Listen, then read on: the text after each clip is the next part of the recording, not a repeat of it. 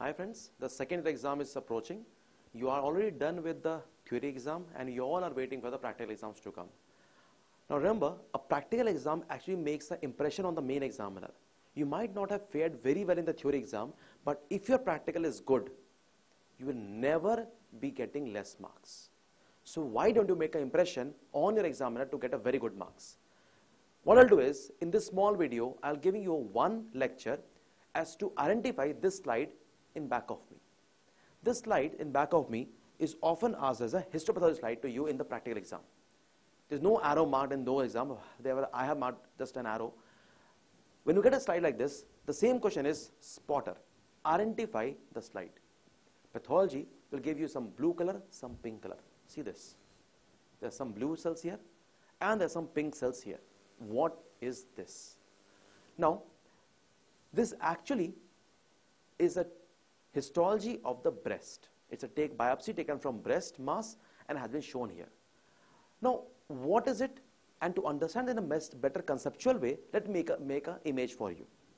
Look, we all know that breast is a structure made of glands and stroma. Okay, so so if I just make this breast, suppose this is the nipple areolar complex. Now what happens is there are some ducts which open into the terminal areas. Like look, these are the lobules and these are terminal ducts here. Okay, the lobules and the terminal ducts. Now these lobules they will then join to the other lobules here and will open into the main nipple complex. Okay. Now this part is called as terminal duct, terminal duct and this part is called as lobule. It is lobule. Okay. Then what happens around the lobule there are some stroma. Okay. There's stroma around the lobule like this. So I'm just putting the stroma in a gray color so it becomes more easy for you to understand. Okay. So this is the terminal duct and around the terminal duct you will see this gray lobule like this. Okay.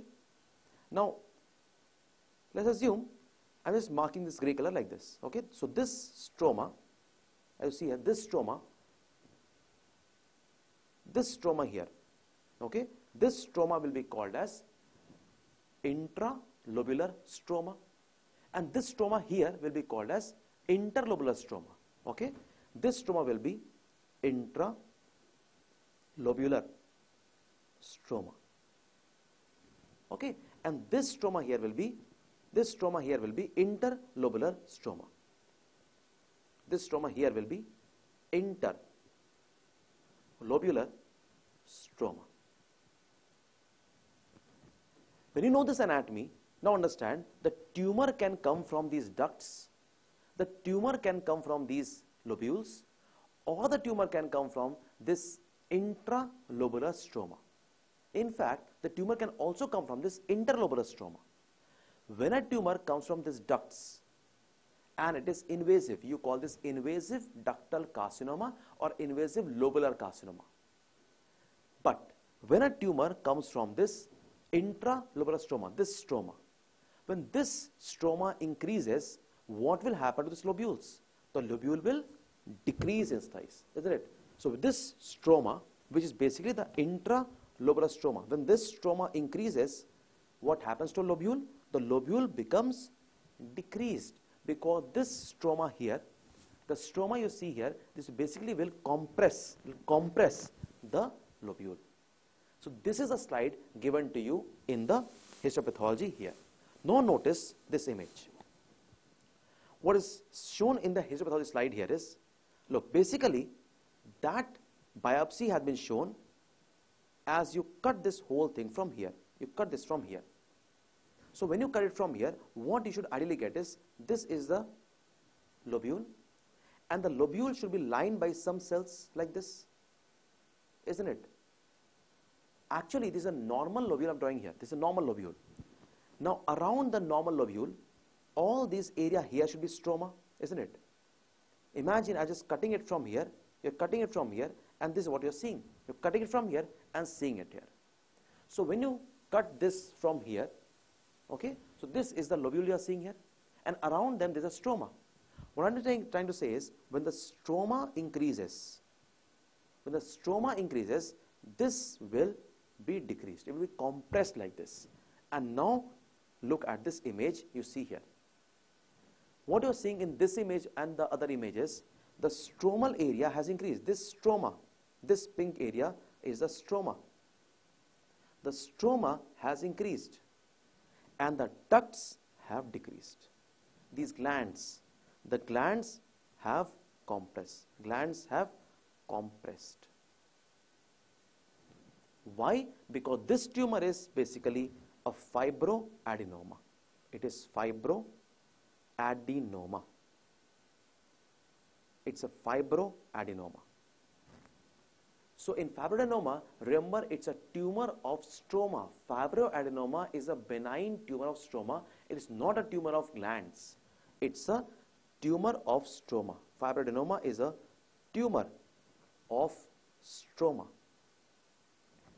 Therefore, the stromal area, the stromal area here has increased and the ducts have become compressed like a slit. Now remember, the two types of ducts that you can see here. I'll just label them. Look, one of the ducts have completely, look here, one of the ducts have become complete like a slit. Say, I'll say this one. And one duct is still round in shape, isn't it? When you see this slit-like glands, it is called as intracanalicular.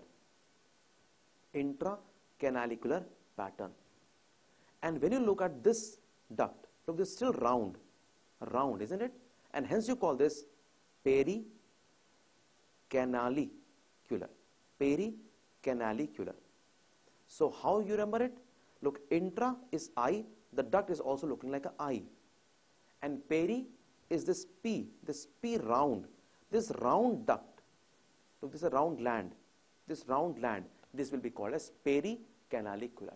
This is fibroadenoma, the benign proliferation of stroma of the glands. The question is, what stroma increases? The answer is intralobular stroma, not interlobular stroma. It is a benign tumor of the breast. It can be locally excised because it's benign and therefore it has a good prognosis, usually occurring around 20 to 40 years of age. Okay, so this is what the actual biopsy is. If you know the histology well, your histopathology will always be good. So we have brought to you multiple images and multiple slides in the same manner discussing with the histology, then the histopathology and then its correlation to the pathophysiology. Okay, wait for it and do watch these videos.